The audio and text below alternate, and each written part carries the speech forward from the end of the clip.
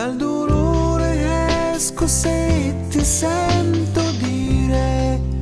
non è niente, anche se in fondo so che non è vero e lo so bene ed ammiro la tua forte immagine di padre che sicuro è anche se